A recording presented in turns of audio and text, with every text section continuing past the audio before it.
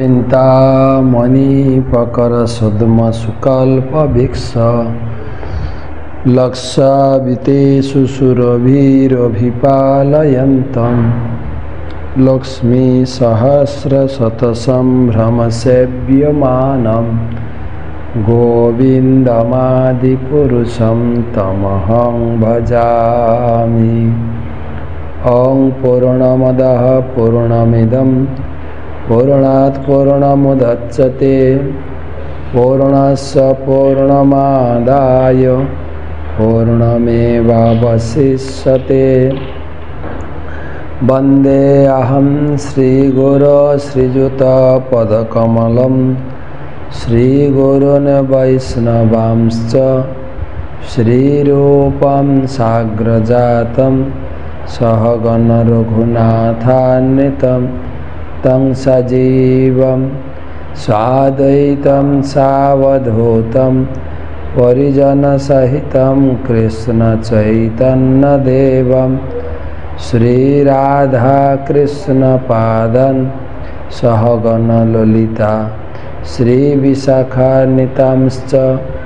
नम ॐ विष्णुपादाय कृष्णप्रेष्ठाय भूतले श्रीमते भक्तिवेदान्त स्वामीनिति नामिने नमस्ते सारस्वते देवे गौरवाणी प्रचारिणे। निर्विशेषशून्यवादी पाश्चात्यदेशतारिणे। जय श्रीकृष्ण चैतन्य। प्रभु नित्यानन्द। श्री अद्वैत गदाधर श्रीवासदि श्री गौरभक्तबिन्द हरे कृष्ण हरे कृष्ण कृष्ण कृष्ण, हरे हरे। हरे राम हरे राम राम राम, हरे हरे। ॐ नमो भगवते वासुदेवाय। ॐ नमो भगवते वासुदेवाय। ॐ नमो भगवते वासुदेवाय। नारायणं नमस्कृत्य। नरं चैव देवीं सरस्वतीं व्यासं। ततो जयमुदीरये। त्वमादिदेवं करुणानिधानं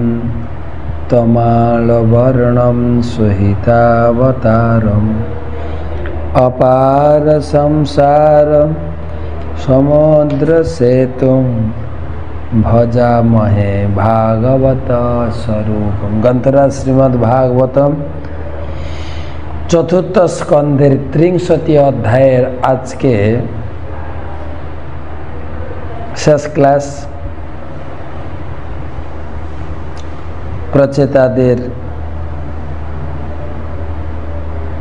বিবাহ। সেই প্লম পলমচা না, পমলোচা পমলোচা এবং কুণ্ড ঋষির কন্যা সঙ্গে প্রচেতাদের বিবাহ। সেই উপলক্ষে আমাদের নশো একষট্টিতম ভাগবত রসমাধুরী সেমিনার, সেমিনারে উপস্থিত সমস্ত ভক্তমণ্ডলী। মমতাময় মাতৃমণ্ডলী সকলকে জানাই কৃষ্ণপ্রীতি শুভেচ্ছা, অভিনন্দন। গুরু প্রণাম। নম ওং বিষ্ণুপাদায়। কৃষ্ণপ্রেষ্ঠায় ভূতলে শ্রীমতে জয় পতাকা স্বামী নীতি নামিনে নম আচার্যপাদায় নিতাই কৃপা প্রদায়িনে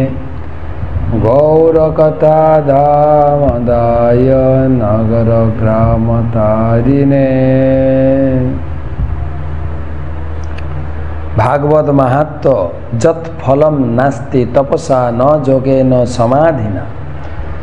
তৎ অনায়াসে তৎসর্ব সপ্তাহ শ্রবণে লভে। যোগ সাধন তপস্যার যে ফল লাভ করা যায় না, ভাগবত পাঠে লাভ করা যায়। তো আজকের আলোচনা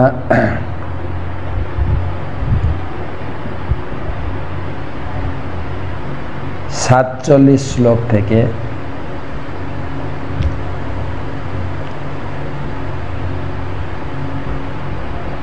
तत्रापि वष्ट्याज वृक्षा भीता दुहितरं तदा उजहृस्ते प्रजेतभ्य उपदिष्टा स्वयंभुवा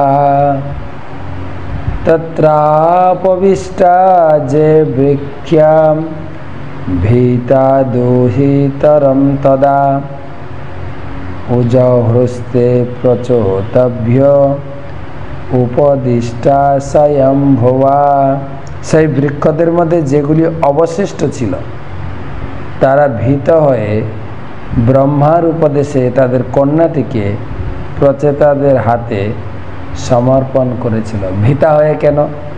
এর আগের ক্লাসে আমরা আলোচনা করেছি যে প্রচেতারা সমস্ত গাছপালাকে পুড়িয়ে দিয়েছিল। কেন? না, প্রচাতেদের গৃহে প্রত্যাবর্তনের পূর্বে তাদের পিতা গৃহত্যাগ করেছিলেন, বানপ্রস্থ অবলম্বন করে ভজনে গিয়েছিলেন। আর তখন এই মাঠে চাষবাস, আবাদ কিছুই হয়নি। গাছপালা হয়ে সব জঙ্গল হয়ে গেছে।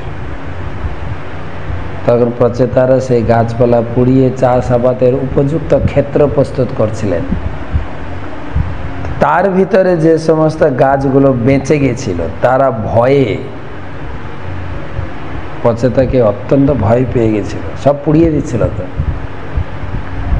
তাদের কাছে সুরক্ষিত সেই কন্যাকে প্রচেতাদের হাতে সমর্পণ করে গেছিলেন। কার নির্দেশে না ব্রহ্মার উপদেশে?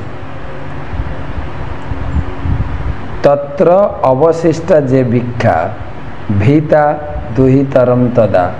ভীত হয়ে দুহিতরম মানে কন্যা, তাদের কন্যাকে উজাও হস্তে প্রচেতভ্য। উজাও হস্তে মানে সমর্পণ করেছিলেন। কার উপদেশে? উপদিষ্টা স্বয়ম্ভুবা। স্বয়ম্ভু ব্রহ্মার উপদেশে গাছেদের কন্যা। এর কাহিনী কিন্তু আগে বলা যে গাছেদের কন্যা হলো কি করে? তাৎপর্যটা পড়ি তাহলে পেয়ে যাও এই অধ্যায়ে ত্রয়োদশ শ্লোকে বৃক্ষদের কন্যাটির উল্লেখ করা হয়েছে। তেরো শ্লোকে আলোচনা করা হয়েছে, কীভাবে এই কন্যা জন্মগ্রহণ করল। তার সংক্ষেপে কাহিনী প্রপাত দিয়েছেন, এই কন্যাটির জন্ম হয়েছিল কুণ্ডু ও পামলোচা থেকে। কুণ্ডু ঋষি তপস্যা করেছিলেন আর স্বর্গ থেকে ইন্দ্রদেব কমলোচা ঋষিকে অপ্সরাকে পাঠিয়েছিলেন কুণ্ড ঋষির তপস্যা ভঙ্গ করার জন্য।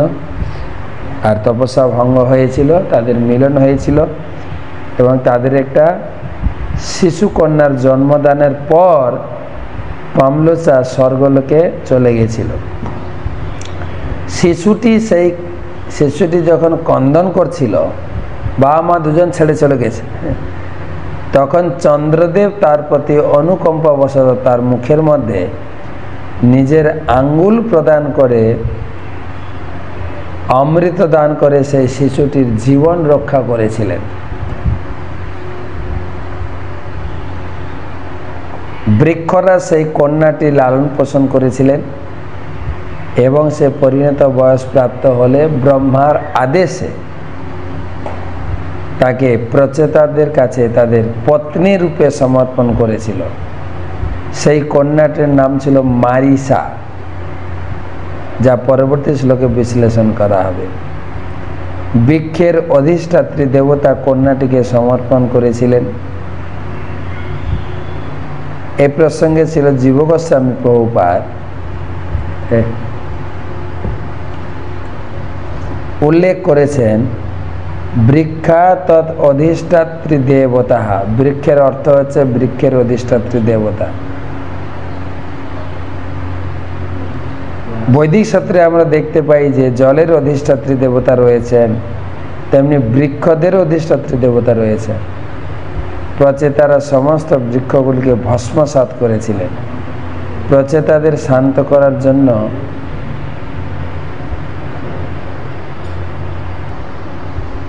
প্রচেতাদের শান্ত করার জন্য বৃক্ষদের অধিষ্ঠাত্রী দেবতা ব্রহ্মার উপদেশে মরিষা নামনি কন্যাকে তাদের কাছে সমর্পণ করেছে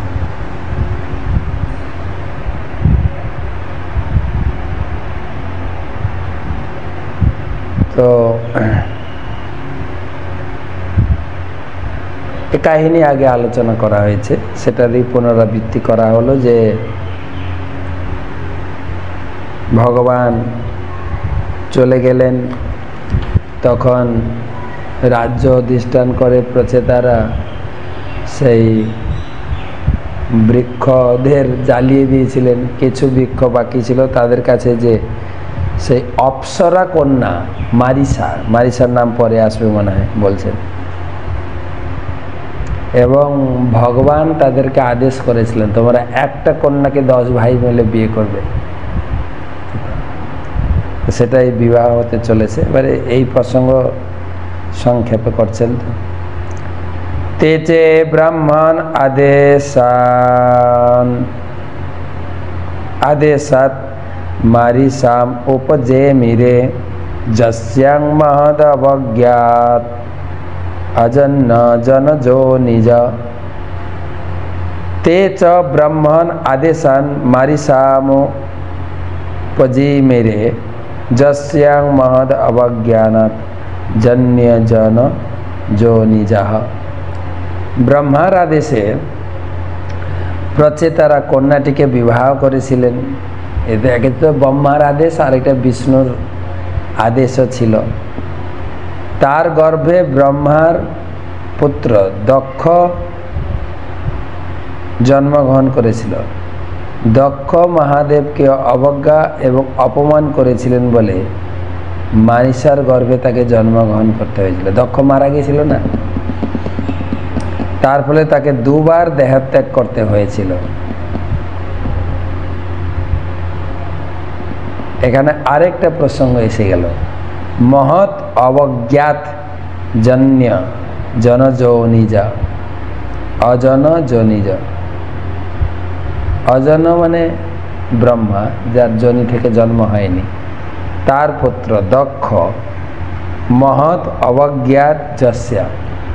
সে মহৎ অবজ্ঞা মানে শিবকে অবজ্ঞা করে তার মৃত্যু হয়েছিল।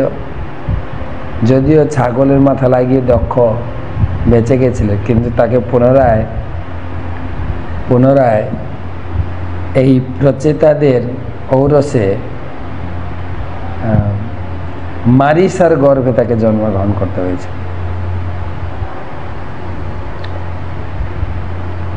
তাহলে সাতচল্লিশ শ্লোকে মারিসাকে সমর্পণ করলেন বৃক্ষরা। আর আটচল্লিশ শ্লোকে সেই মারিসার গর্ভে দক্ষের জন্ম। তাৎপর্য, এই প্রসঙ্গে মহৎ অবজ্ঞানাত শব্দটি বৈশিষ্ট্যপূর্ণ। রাজা দক্ষ ছিলেন ব্রহ্মার পুত্র, অতএব পূর্বজন্মে তিনি ছিলেন ব্রাহ্মণ। কিন্তু মহাদেবকে অবজ্ঞা বা অথবা অপমান করে অব্রাহ্মণের মতো আচরণ করার ফলে তাকে ক্ষত্রিয়ের ঔরসে জন্মগ্রহণ করতে হয়েছিল। অর্থাৎ তিনি প্রচেতাদের পুত্ররূপে জন্মগ্রহণ করেছিলেন। কেবল তাই নয়, মহাদেবকে অবজ্ঞা করার ফলে তাকে গর্ভ যন্ত্রণা ভোগ করতে হয়েছিল।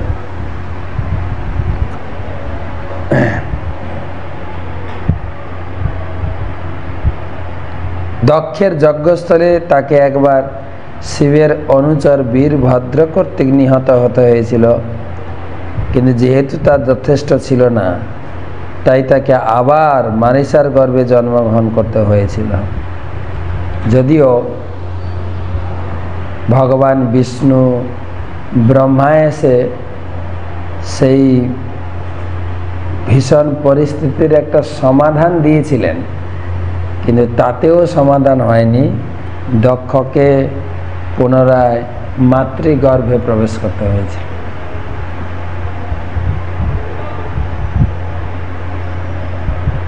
দক্ষযজ্ঞ পণ্ড হওয়ার পর দক্ষ শিবের স্তব করেছিলেন। যদিও তাকে দেহাত্যাগ করে ক্ষত্রিয়ের বীর্যে স্ত্রী গর্ভবাসের যন্ত্রণা ভোগ করে জন্মগ্রহণ করতে হয়েছিল। তবু শিবের কৃপায় সমস্ত ঐশ্বর্য প্রাপ্ত হয়েছিলেন। এটি হচ্ছে জড় প্রকৃতির সূক্ষ্ম নিয়ম। খুব সাবধান থাকতে হয়। অপরাধ করার ব্যাপারে পাপে পাপ করার ব্যাপারে। এ বর্তমান সমাজের পরিস্থিতি হ্যাঁ, ছাত্র আন্দোলন অভয়ার মৃত্যু কে দোষী কে নির্দোষী কিছু কিছু জিনিস রাজনৈতিক ক্ষমতা বলে কিছুটা পার পেয়ে যায়। সাধারণ মানুষ অনেক সময় বিচার পায় না, কিন্তু অন্তিম বিচার তো সেখান থেকে মুক্ত পাওয়া অসম্ভব। কিছু কিছু সরল হৃদয় লোক তাদের ক্ষমা করে দেয়, কিছু কিছু লোক তাদের সীমিত ক্ষমতার জন্য তারা বিচার পায় না। আবার কিছু কিছু লোক তাদের জাগতিক ক্ষমতার বলে তারা সেই অহংকার বশত দমিয়ে রাখে লোককে। সব মিলিয়ে আলটিমেট বিচার হবে ভগবানের বিচার। কে কতটা ভালো করেছে, কে কতটা দেশের সেবা করেছে, কে কতটা জনগণের উপকার করেছে, সেটা তো সেই বিচারের কোনো প্রকারের পার্সিয়ালিটি বা কোনো প্রকারের পক্ষপাতিত্ব হবে না। হয় নিরপেক্ষ বিচার একদম ওখানে। তো এখানে বলছেন যে এর কাহিনী এই চতুর্থ স্কন্ধের শুরুতে পুরো ছটা অধ্যায়ে বর্ণনা করা হয়েছে। অপূর্ব কাহিনী, শ্বশুর জামাইয়ের ঝগড়া। শ্বশুর হচ্ছেন দক্ষ, শিব হচ্ছেন জামাতা। আর এই দুজনের ঝগড়ার মাঝখানে সতী বাবার উপরে রাগ করে তিনি দেহত্যাগ করলেন। এ এক অদ্ভুত কাহিনী, আপনারা আগে আমরা আলোচনা করেছি, পারলে একবার পড়বেন আপনারা। আমি সব জায়গায় এই জায়গায় এই কথাগুলো বলি যে সতী বাবার উপরে রাগ করে দেহত্যাগ করলেন। আর বর্তমান মেয়েরা বিবাহ হওয়ার পরে দেখা যায় যারা আত্মহত্যা করে, স্বামী বা শ্বশুর বাড়ির উপরে রাগ করে। এক বিশাল অন্তর। সতীর জীবনী আর বর্তমান মেয়েদের কার্যকলাপ। এখান থেকে স্পষ্ট ধারণা লাভ করা যায় যে বর্তমান পরিস্থিতির প্রেক্ষাপটটা কেমন। তো সেই কাহিনীতে আমি আর ঢুকছি না, আমি অনেক ক্লাসে বলেছি। তাই এখানে বলা আছে এটি হচ্ছে জড়া প্রকৃতির সূক্ষ্ম নিয়ম। দুর্ভাগ্যবশত আধুনিক যুগের মানুষেরা জানে না কীভাবে এই নিয়ম কার্য করে? আত্মার নিত্যত্ব এবং তার দেহান্তর সম্বন্ধে কোনো জ্ঞান না থাকার ফলে আধুনিক যুগের মানুষেরা গভীরতম অন্ধকারের দ্বারা আচ্ছন্ন। সেই কারণে শ্রীমদ্ ভাগবতমে প্রথম স্কন্ধে প্রথম অধ্যায়ে দশম শ্লোকে বর্ণনা করা হয়েছে, মন্দা সুমন্দ মতয় মন্দ ভাগ্যা হি উপদ্রুতা। এই কলিযুগে সমস্ত মানুষ অত্যন্ত মন্দ, অলস, দুর্ভাগা এবং জড়জাগতিক পরিস্থিতি দ্বারা উপদ্রুত। চাক্ষুষে তন্তরে প্রাপ্তে পাকসর্গে কাল বিদ্রুতে য সসর্জ প্রজা হৃষ্ট্যা সদক্ষ চোদৈব চোদিত। চাক্ষুষে তন্তরে প্রাপ্তে প্রাকসর্গে কলা কাল বিদ্রুতে। য সসর্জ প্রজা ইষ্ট সদক্ষ দৈব চোদিতা। তার পূর্বদেহ বিনষ্ট হয়েছিল, কিন্তু তিনি সেই দক্ষই চাক্ষুষ মন্বন্তরে ভগবানের ইচ্ছার দ্বারা অনুপ্রাণিত হয়ে তার অভিলষিত প্রজা সৃষ্টি করেছিলেন। অনেকগুলো মন্বন্তর আছে শিলপ্রভুপাত তাৎপর্যে তার বিস্তারিত আলোচনা করছেন যে আমাদের কীভাবে একটার পর আরেকটা জন্ম হয়, আর আমরা কীভাবে আমাদের ইহজন্মের কর্মের ফল পরজন্মে আমাদের ভোগ করতে হয়। সে সম্পর্কে প্রভুপাত লিখেছেন সহস্র যুগ পর্যন্তম আহর্যদ ব্রহ্মণ বিদু, রাত্রিম যুগ সহস্রান্তম তেহ অহরাত্র বিদ জনা। মানুষের গণনা অনুসারে আমাদের যেরকম কলিযুগে একশো বছর আয়ু দেওয়া হয়েছে প্রত্যেকের দেবতা, পশু, পাখি, কীট, পতঙ্গ, এমনকি ব্রহ্মারও একশো বছর আয়ু। তবে ব্রহ্মার আয়ুর হিসাবটা একটু ভিন্ন। যেরকম আমাদের এই এখন রাত্রি চলছে, চব্বিশ ঘণ্টা হলে একদিন হয়। তারপরে পনেরো দিনে একটা পক্ষ। তিরিশ দিনে একটা মাস, তারপরে বারো মাসে এক বছর। এই হিসাবটা আবার দেবতাদের পক্ষে একটু ভিন্নতা। আমাদের ছয় মাস হলে তাদের বারো ঘণ্টা, আমাদের এক বছর হলে তাদের একদিন চব্বিশ ঘণ্টা। আবার সেই হিসাব ব্রহ্মার জন্য আবার অন্যরকম ব্রহ্মান হিসাবটা এখানে দিয়েছেন। মানুষের গণনা অনুসারে এক হাজার চতুর্দিকে, চতুর্যুগে ব্রহ্মার একদিন হয়, আর তার রাতিকালও তেমনি। কীরকম? না, চতুর্যুগ, চারটা যুগ, সত্য, ত্রেতা, দাপর, কলি। কলিযুগের স্থায়িত্ব লেখা হয়েছে চার লক্ষ বত্রিশ হাজার বছর। এর ডবল হচ্ছে দাপর যুগ, আট লক্ষ চৌষট্টি। কলিযুগের তিন গুণ হচ্ছে ত্রেতা যুগ। বারো লক্ষ ছিয়ানব্বই হাজার বছর। আর কলিযুগের চার গুণ হচ্ছে সত্যযুগ এই চারটাকে একসঙ্গে গুণ করে এক হাজার দিয়ে গুণ করলে, এই চারটাকে একসঙ্গে যোগ করে এক হাজার দিয়ে গুণ করলে যে সংখ্যা দাঁড়াবে, ব্রহ্মার হয় বারো ঘণ্টা মানে একদিন। আবার এক হাজার দিয়ে গুণ করলে এক রাত্রি। অর্থাৎ চতুর্যুগকে একসঙ্গে যোগ করে দু হাজার দিয়ে গুণ করলে ব্রহ্মার চব্বিশ ঘণ্টা একদিন হয়।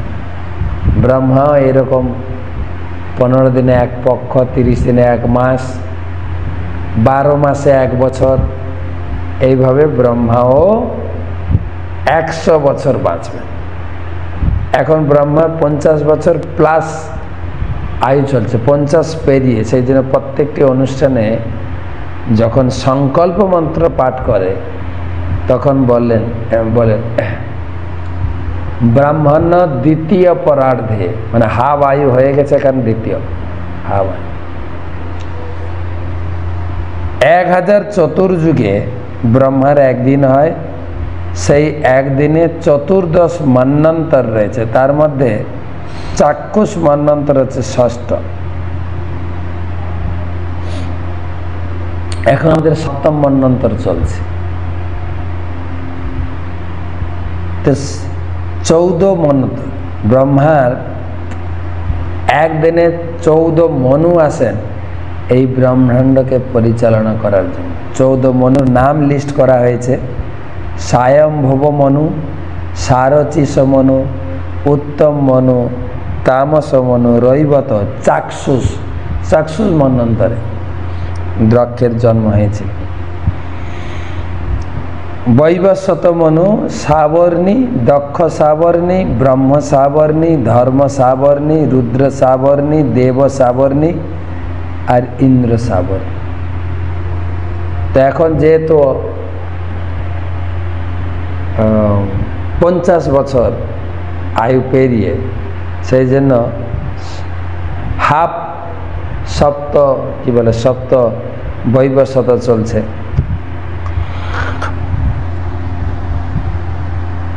তাহলে ব্রহ্মার একদিনে চৌদ্দ মনু, আর এক বছরে পাঁচ হাজার চল্লিশ জন মনু আসেন। ব্রহ্মার আয়ু একশো বছর। তার ফলে ব্রহ্মার জীবনে যে সমস্ত মনুর আবির্ভাব ও তিরভাব হয়, তাদের সংখ্যা হচ্ছে পাঁচ লক্ষ চার হাজার। এই এক একটি ব্রহ্মাণ্ডের গণনা। এটা এক, একটা ব্রহ্মাণ্ড এইরকম অনেক ব্রহ্মাণ্ড রয়েছে। এই জগতে অসংখ্য ব্রহ্মাণ্ড রয়েছে। এই সমস্ত মনুদের গমনাগমনা হয় কেবল মহাবিষ্ণুর নিঃশ্বাস প্রশ্বাসের দ্বারা। আরেকটা তত্ত্ব প্রভুপাত দিলেন, আমাদের হিসাব অনুযায়ী স্বর্গলোকের দেবতাদের আয়ু অনেক বেশি। বললাম না, আমাদের ছয় মাস, আমাদের এক বছর মানে দেবতাদের একদিন আর আমাদের দুই হাজার চতুর্যুগে ব্রহ্মার একদিন। ব্রহ্মাও একশো বছর আছে, বিশাল আয়ু ব্রহ্মা। সেই ব্রহ্মা আবার বিষ্ণুর কাছে একটা নিঃশ্বাস। ব্রহ্মা ঢুকে গেলেন। আবার যখন নিঃশ্বাস ছাড়ে এই নিঃশ্বাস ছাড়তে যত সময় লাগে ব্রহ্মার আয়ু।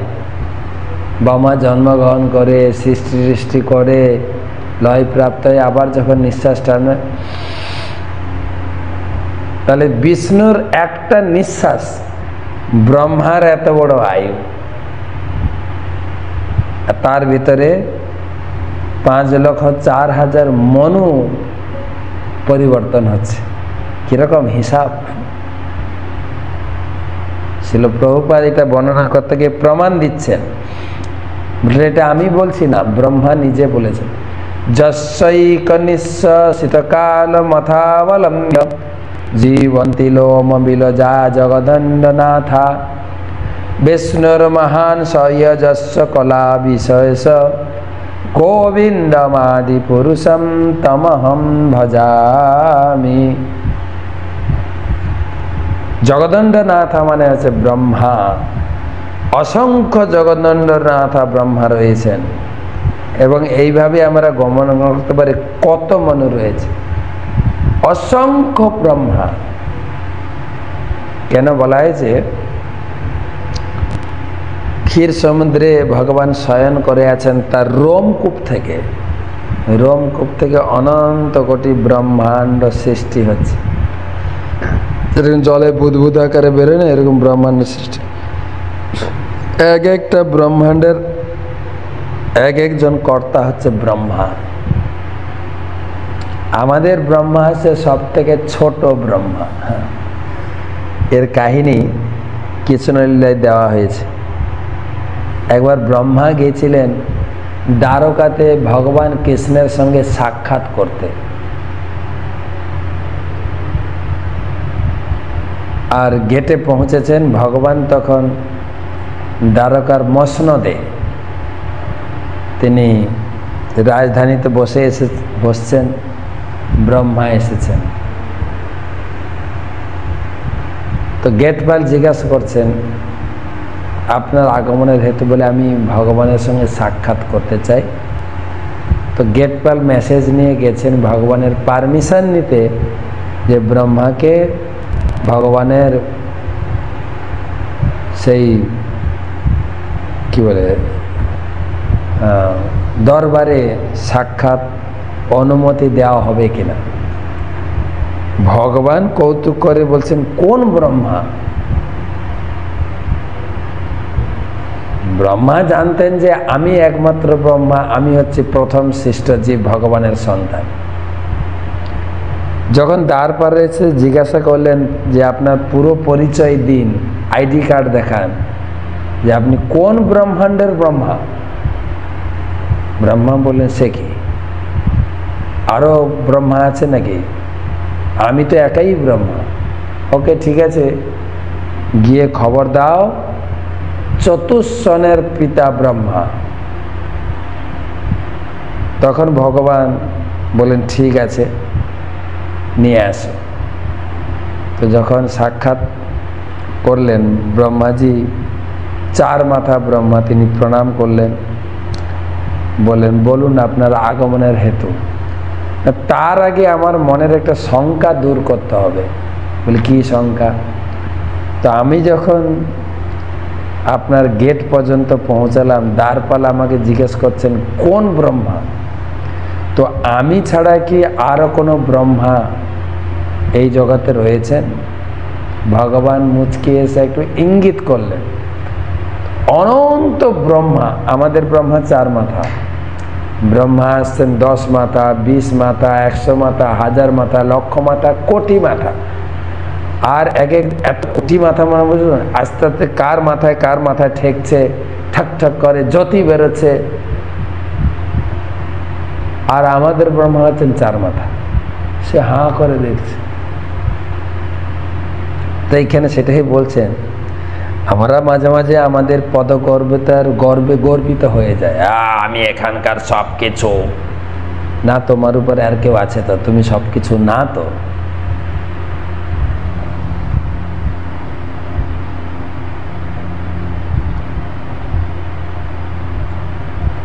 অসংখ্য জগদণ্ডনাথ ব্রহ্মা রয়েছেন এবং এইভাবে আমরা গণনা করতে পারি কত মনু রয়েছে। একটা মনুর হিসাব দেওয়া হলো। একটা ব্রহ্মার জীবনে। পাঁচ লক্ষ চার হাজার মনু। তাহলে অনন্ত কোটি ব্রহ্মাণ্ড মানে অনন্ত মনু। বর্তমান সময়টি বৈবসতী মনুর নিয়ন্ত্রণধীন। প্রত্যেক মনুর আয়ু তেতাল্লিশ লক্ষ বিশ হাজার বছর ইন্টু একাত্তর। বর্তমান মনুর আয়ু ইতিমধ্যে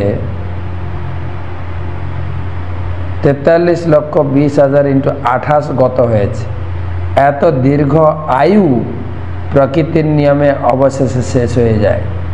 দক্ষ যজ্ঞের বিবাদ, স্বয়ম্ভব মনুর মন্বন্তরে হয়েছিল। এই বিবাদের ফলে দক্ষ শিব কর্তৃক দণ্ডিত হয়েছিলেন, কিন্তু শিবের স্তব করার ফলে তিনি তার পূর্ণ ঐশ্বর্য ফিরে পেয়েছিলেন। ছিল বিশ্বনাথ চক্রবর্তী ঠাকুরের মতে দক্ষ পঞ্চম মন্বন্তর পর্যন্ত কঠোর তপস্যা করেছিলেন।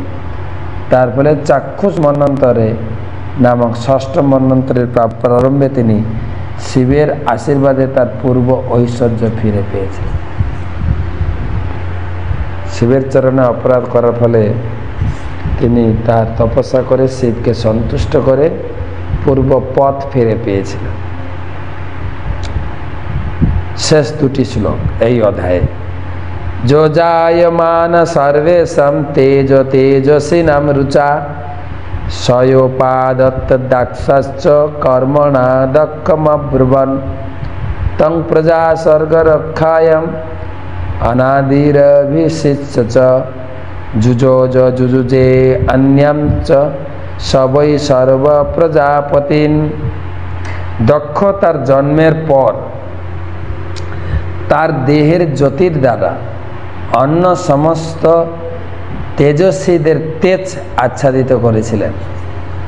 সকাম কর্ম অনুষ্ঠানে অত্যন্ত দক্ষ হওয়ার ফলে তাকে দক্ষ বলা হতো।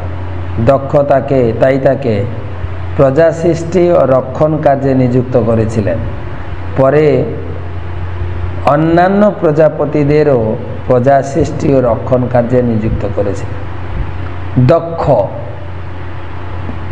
কিসে দক্ষ? প্রজা সৃষ্টিতে দক্ষ। অনেক এবং ভগবান আশীর্বাদও দিয়েছিলেন। শুরুতে, এই অধ্যায়ের শুরুতে ভগবান প্রচেতাদের বলেছিলেন, তোমরা একটা গুণবতী, সুন্দরী মহিলাকে বিবাহ করবে। তার থেকে একটা সন্তান হবে। এবং তার থেকে অসংখ্য প্রজা সৃষ্টি হয়ে তোমাদের বংশাবলী বিস্তার হবে।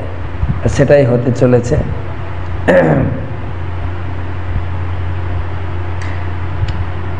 তো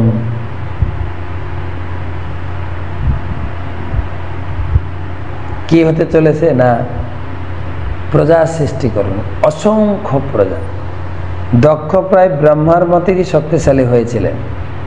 তার ফলে ব্রহ্মা তাকে প্রজা সৃষ্টির কাজে নিযুক্ত করেছিলেন দক্ষ অত্যন্ত প্রভাবশালী এবং ঐশ্বর্যবান ছিলেন। পরে দক্ষ মরিচি আদি প্রজাদের প্রজাপতিদের প্রজা সৃষ্টি রক্ষণ কার্যে নিযুক্ত করেছিলেন। এইভাবে ব্রহ্মাণ্ডের প্রজা সংখ্যা বৃদ্ধি পেয়েছিলেন।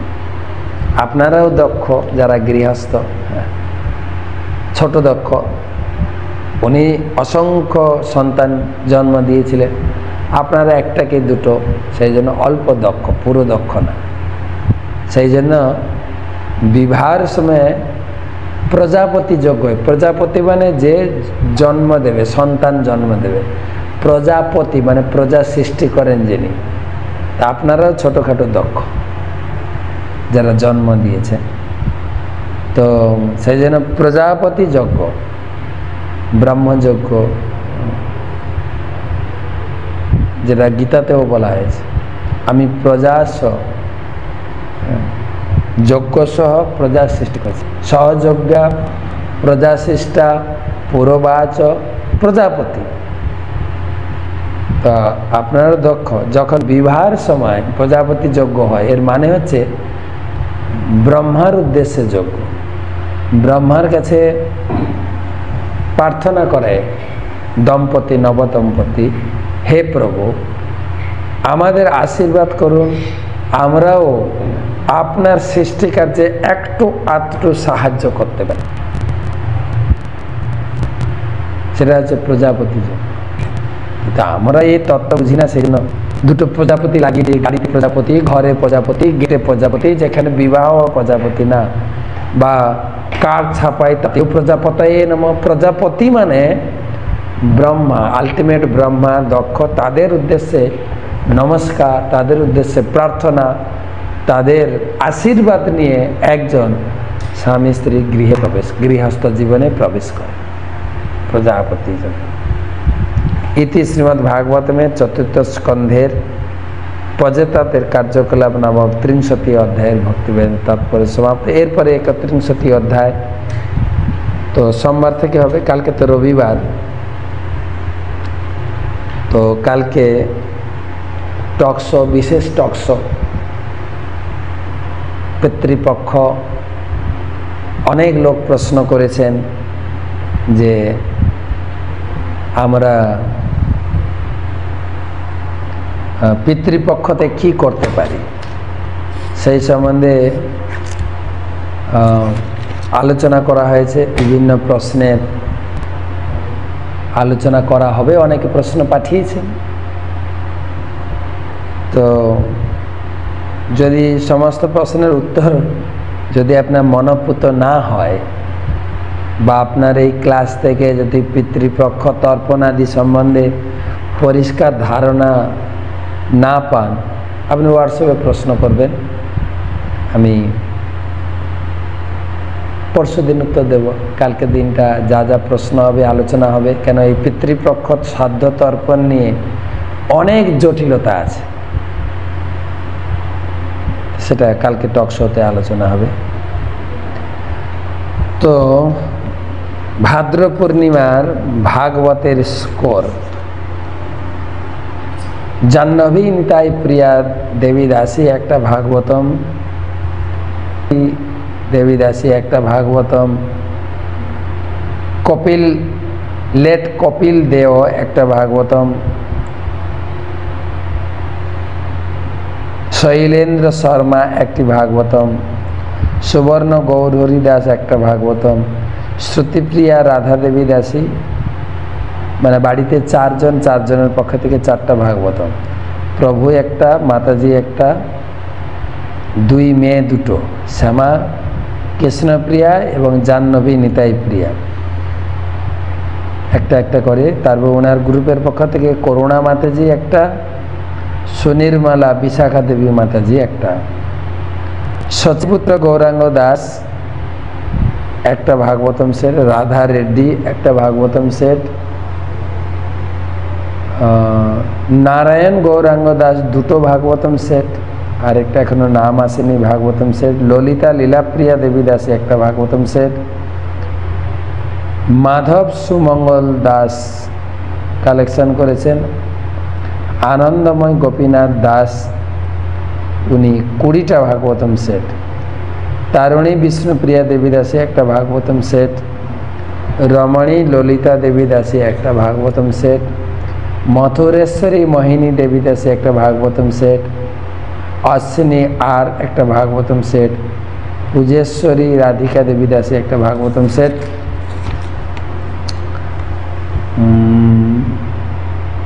সমীর চন্দ্র দে দুটো Gita, Mumbai J S S S আঠারোটি গীতা আরণব গোস্বামী দুটো গীতা এবং আমাদের সেবা গৌরাঙ্গ দাসের প্রভুর পক্ষ থেকে। কিছু গীতা এসেছে, সেবা গৌরাঙ্গ দাস প্রভু। দ্বিজেন্দ্র বেরা, দুটো গীতা, অনাদি জানা, একটি গঙ্গাবালা জানা, একটি দুর্যোধন খা, ডাকুয়া, একটি আলপনা ডাকুয়া, একটি সুভাষ ডাকুয়া, একটি শালু ডাকুয়া, একটি সুমনা ডাকুয়া, একটি শুভ বড় দলই একটি সকলের পশ্চিম মেদিনীপুর সোনাখালীতে বাড়ি। তো যারা যারা গীতা ভাগবতম দান করেছেন, আপনাদের সকলের কাছে কৃতজ্ঞতা ব্যক্ত করি। গুরু মহারাজকে প্রচার কাজে আপনারা সহযোগিতা করছেন। আপনাদের জন্য বিশেষ প্রার্থনা জানাই। ভগবান ভাগবতমের কাছে রাধা মাধবের কাছে, নরসিংহদেব পঞ্চতত্ত্বের কাছে এবং প্রতি একাদশীতে আপনাদের নামে পুজো প্রার্থনা করা হবে হরে কৃষ্ণ হরে কৃষ্ণ কৃষ্ণ কৃষ্ণ হরে হরে হরে রাম হরে রাম রাম রাম হরে হরে শুভরাত্রি